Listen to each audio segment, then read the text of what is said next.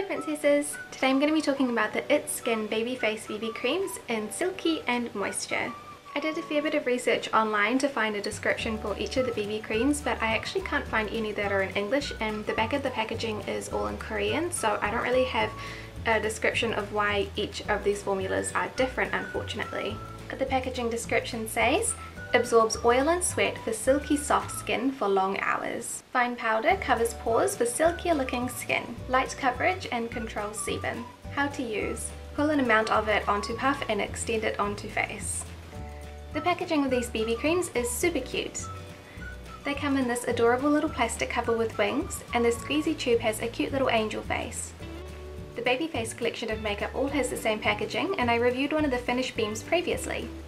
The Silky BB Cream formula is quite yellow in tone and is slightly too dark for my skin tone. It's actually not a bad fit for my skin tone during summer at the moment, which is actually quite nice, but it is too dark for winter.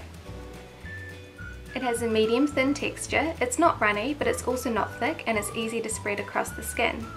I don't like applying this BB cream with brushes since it just tends to get pushed around my face a lot which is very annoying, but it does have a lovely finish when it's applied with fingers or a sponge.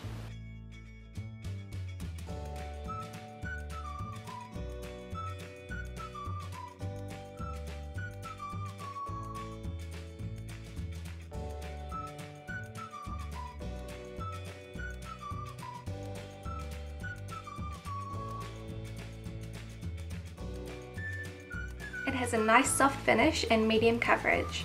I don't like building this BB cream up for more coverage because it does tend to get quite cakey.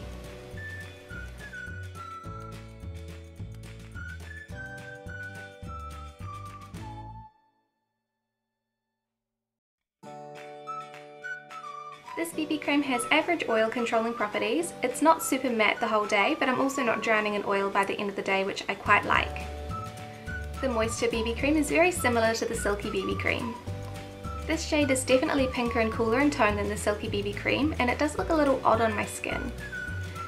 It is quite pale, and since it's the opposite tone to my normal skin tone, it looks paler in comparison to my neck, which is not a good look. It has the same medium thin texture as the Silky BB Cream. It's not runny, but it's also not thick, and it's easy to spread across the skin. Also the same with the Silky BB Cream. I don't like applying this BB cream with brushes since it just spreads it around my face, which I don't like, but it does have a lovely finish when it's applied with fingers or a sponge.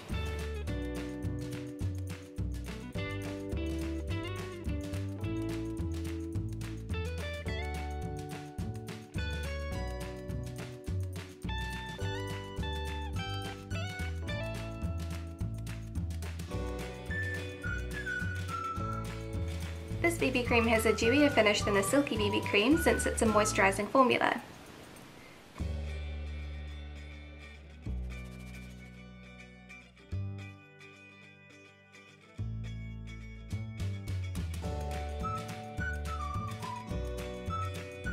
This formula has less oil control since it is an already moisturising formula, though it's not awful. My T-zone does need a wee blot at around 6 hours a wear, but it's not terrible.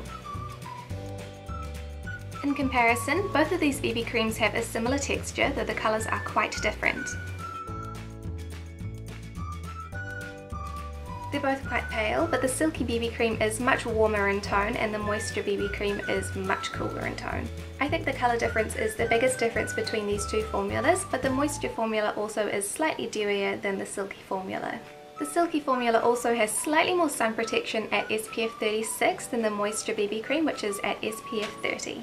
I really love that these are quite inexpensive at about 8 to 10 US dollars each and they're really easy to apply with fingers or a sponge. They both have medium coverage and they're nice and silky looking on the skin and they don't emphasize my large pores. They have super cute packaging and the Silky BB cream is quite a nice colour for my summer skin at the moment.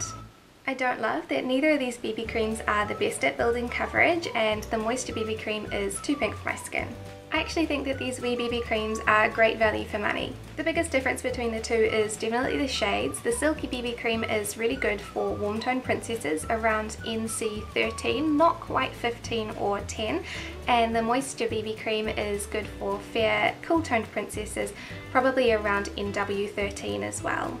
They both have really lovely formulas and fair oil control, though they only have medium coverage which isn't really buildable. That doesn't bother me too much. You can't really see too much of my scarring so I'm happy with that. They're both pretty inexpensive so I would recommend the Silky BB Cream for any princesses that are around NC13 and the Moisture BB Cream for any princesses that are around NW13. Thank you so much for watching this review and I'll see you next time. Bye!